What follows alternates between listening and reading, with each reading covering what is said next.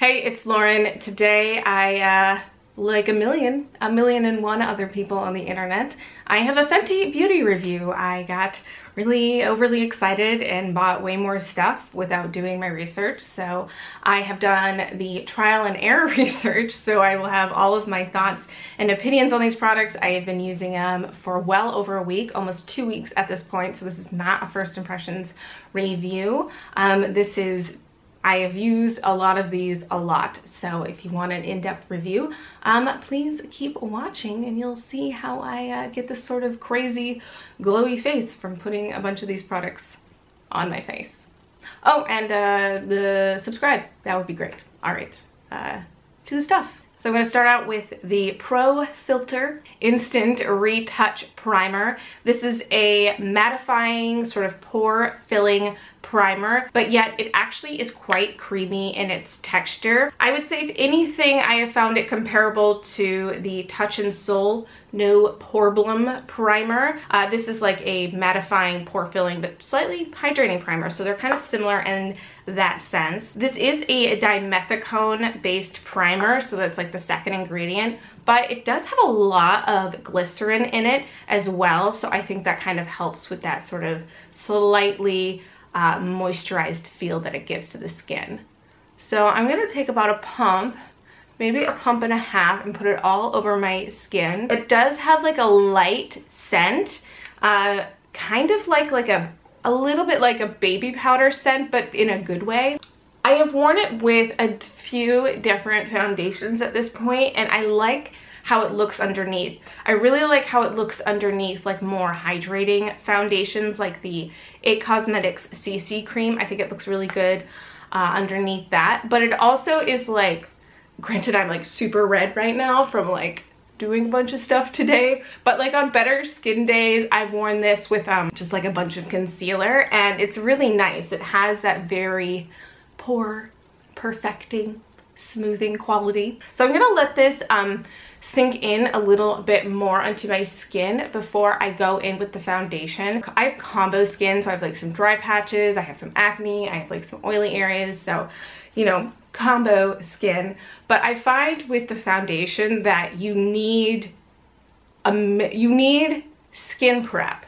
You need to have moisturized beforehand, you know, primer. You need you need the skin prep, but at the same time, you need to have really let like all that stuff sink in. So if I like went in right now with the primer still like setting, uh, things would break up a little bit faster than they do already on me. So I'm gonna let this set and I will come back and put on the foundation. Okay, so I think things have settled in uh, enough for me to get going with the foundation. I think it goes without saying that the shade range on these guys is pretty incredible.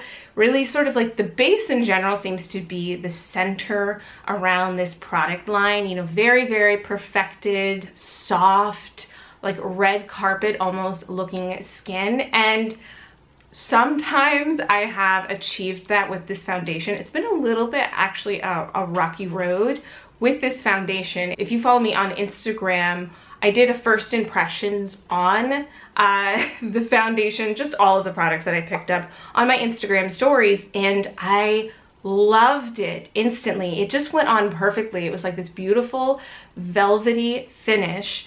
And then about every single day since then, it's just kind of like gone down and how it's looked on me. It's been very weird. It's like maybe it is the foundation uh, this particular one. I did get the little sample of the 150 which the texture of this is much thicker than this one, which is 120. So I did a little investigating and I picked up a couple of samples from Sephora. I got another sample of 120 and I got a sample of 140. And yeah, I think it might be this particular something maybe happened with shipping and heat.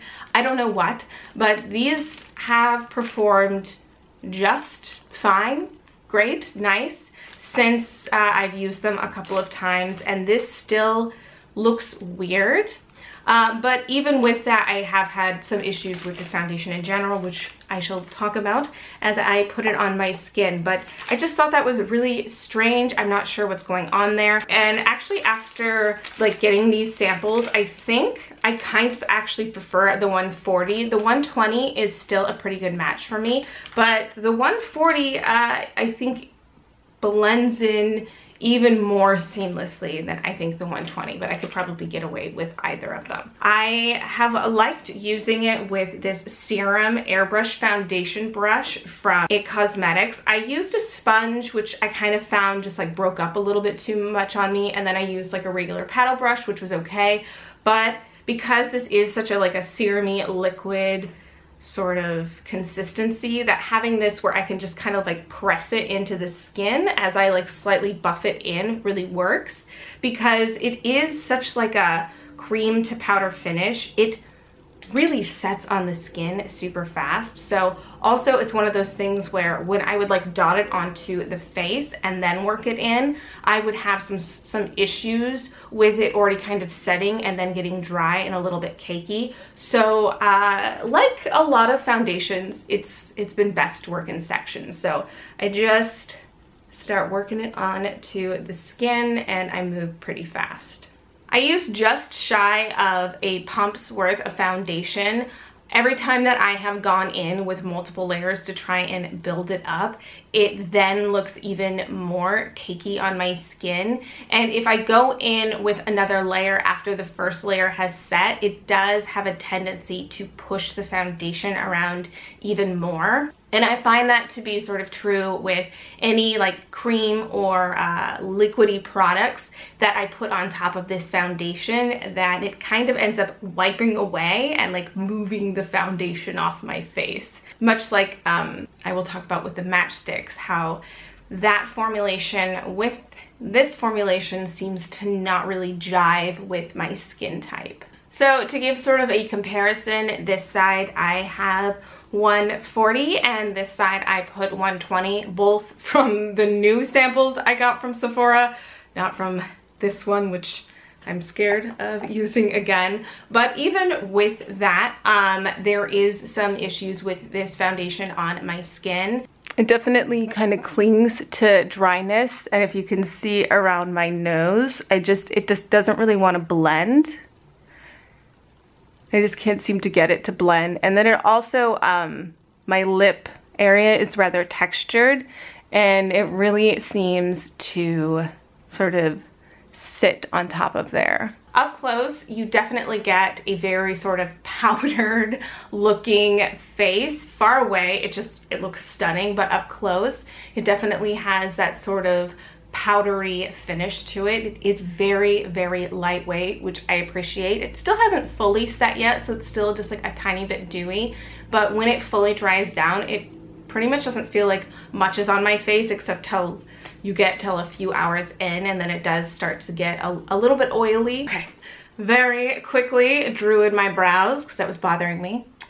Not doing it how I like them completely, but you know, that will do. Uh, so moving on to the Match Stix, I picked up the Trio in Light. So it comes with two of the matte Match Stix and one of the shimmers. So there's Amber, which is like the contour shade, Linen, which is like a matte highlight concealer shade, and then there's Starstruck, which is like the straight up highlighter. They all have a rather dry formula. So I'll talk about the concealer first, which was is Linen. Because it is a drier formula, if I go in straight with the bullet, it ends up looking even more uh, cakey. So I'm gonna warm it up and press it underneath my eyes and just sort of blend it in and make sure it's all like warmed up with my fingers. Very similar to like how I like to use the Laura Mercier Secret Camouflage Concealer since it is a like thicker um, like sort of waxy formula. You kind of want to make it a little bit more emollient by warming it up. So I'm also, I have a spot right here. I'm gonna try and cover it. Now I have very textured under eyes and unfortunately it doesn't sit very well on my under eye area so I don't like it on the under eye. And then on spots as well I find that it just sort of cakes on top and doesn't actually do much covering. So this is probably my least favorite item out of the entire uh, line that I have tried. Uh, and then I'm gonna move on to the Matchstick in Amber, which is actually probably my second least favorite item because of the same consistency issues with me and blending it in. Now it is a fantastic contour shade for me, but I just have a lot of issues with blending it in. So I'm gonna go ahead and apply it straight from the bullet on this side and then I will like use my fingers on this side.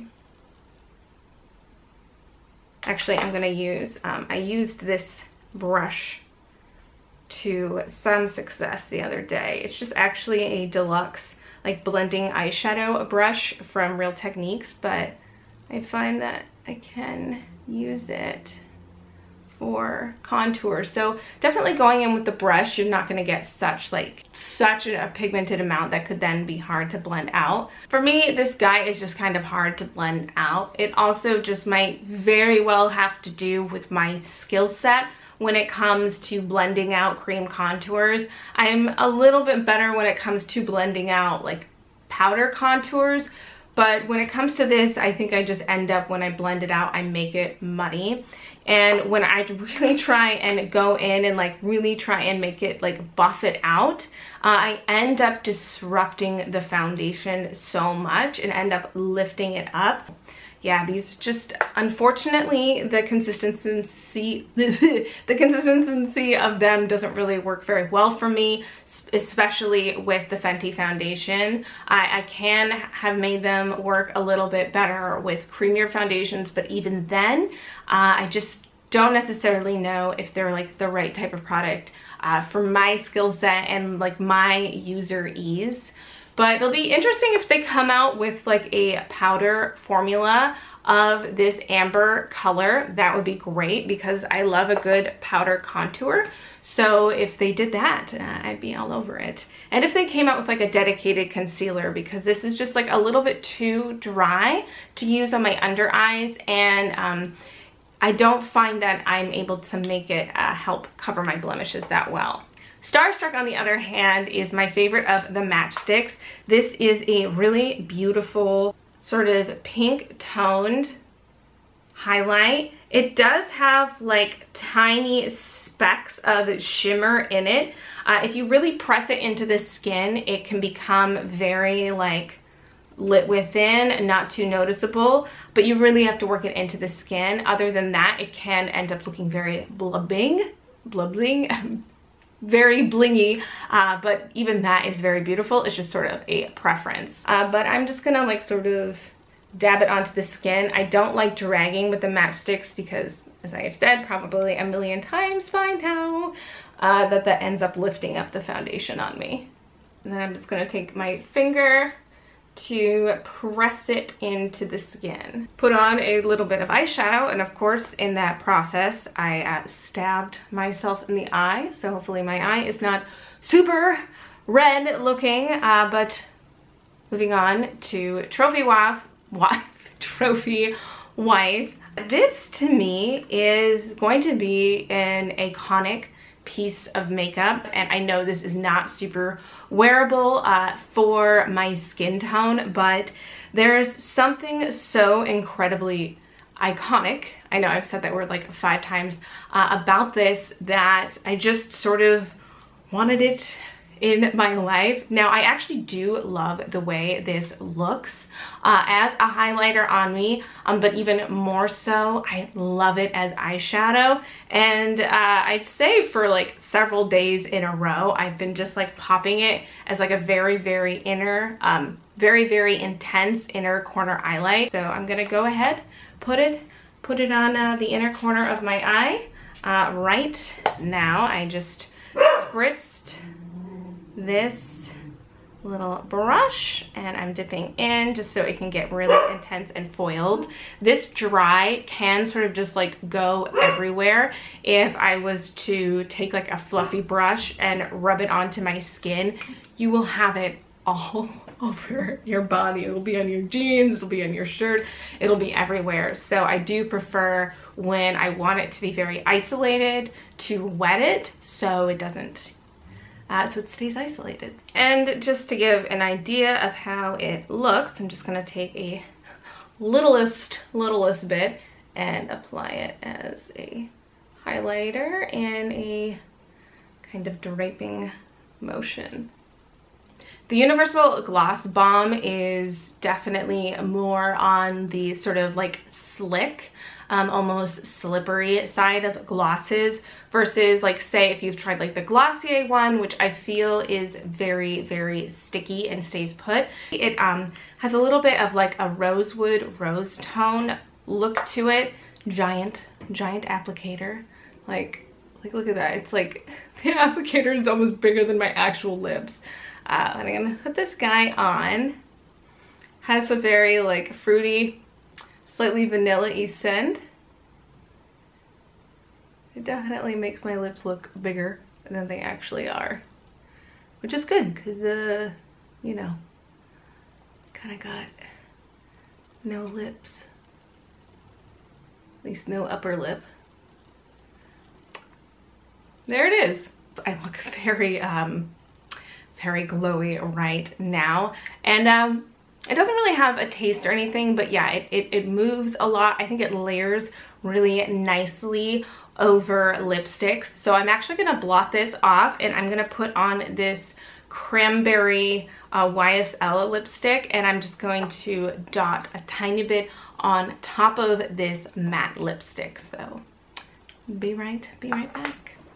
All right, so there is the lip with uh, a matte lipstick underneath and then uh, the Gloss Bomb dotted on top there. But I'm going to do a quick recap before I end this video. So starting out with the Pro Filt'r Primer, I love this.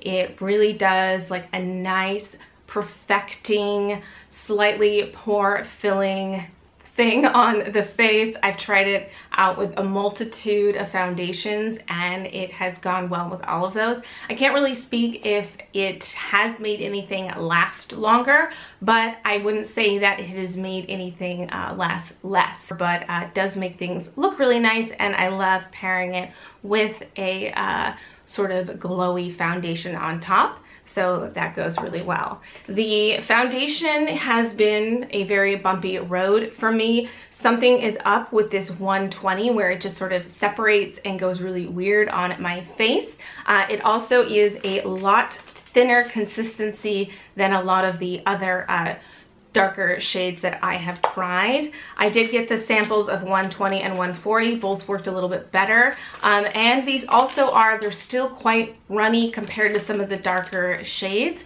but um, still actually slightly thicker than this one. So I'm not sure what's going on. And yes, I did, I did shake them um, before using them, so I'm not sure what's going on. This doesn't build very well on top of itself for me. I also find that I really have to work with it really fast because it dries down um, very quickly on my skin. And uh, I also feel like with this foundation, I can really only use powder products on top of it uh, if I use cream products, it tends to lift the foundation up. It does feel really lightweight and from far away, I think it looks gorgeous. But up close, I find that it does emphasize my texture, can easily sit on top of my pores, and really doesn't sit very well in this area for me. Also, um, I did have quite a lot of hormonal breakouts last week and I found that I had a really hard time getting this foundation to cover those and it would just sort of like sit uh, sit on top of them and I couldn't really get it to blend in. Also, I found that this was only like a few hour wear time. Um, like if I had like a full 10 hour sort of day out doing stuff, it definitely wore away on my forehead, sort of lifted up on top of the skin and separated even more in this area. So it really is a foundation that I can only use for uh, a few hours. Uh, but because it does give that really beautiful sort of red carpet finish, it seems like a really nice sort of event style makeup. Um, but with that, not necessarily something I'm gonna be able to get the most use out of, so I'm excited to see what other uh, foundations formulations that Fenty comes out with because the color match I got is amazing. Absolutely great. Even both of these actually, 140 and 120 worked fantastic for me. The Match Stix unfortunately were a pass for me. They were really hard for my ability to work into the skin. Linen, I had a hard time getting it to cover my spots. Didn't really sit well underneath my eyes. I could use it as like a matte highlight, but only on creamier uh, bases that I had underneath it. Amber, I just great color. Hopefully they come out with like a powder uh, contour because I would totally use that. Unfortunately, I just couldn't really get this to blend for me, uh, but that also just might be my skill set. I think Starstruck is gorgeous. It has this really beautiful pinky pearlescence that if you really press into the skin, it can be an everyday highlight but you can easily build it up and be something crazy. Trophy Wife, which is sitting over there is definitely something when I want to do something more avant-garde. I like doing definitely more editorial type stuff with my makeup here and there because I'm an actor and I don't have like regular type of jobs. I can easily pull off more kind of crazy fashiony makeup in my day-to-day. -day. So for me, this is a piece that I love and I will be getting a lot of wear out of. The Gloss Bomb, unfortunately, just because of my face structure and how I talk, um, it moves around way too much. Uh, for uh, my sort of liking, but it is a really beautiful color and it has a nice bit of shimmer. Woo! Okay. Uh, I think that entire video could have just been that recap. um, so there you go. There is all of my thoughts on the Fenty beauty items that I have tried. If you have tried anything, I'd love to know your experience down below. Let me know how some things worked for you. Um, and if some things didn't work for you, I really like uh, having the beauty conversation um, with somebody that isn't myself. I'm sitting alone in a room. All right, I hope you are having a great day and uh, subscribe um, and like the video. That would be great. And I'll see you in the next one. Bye.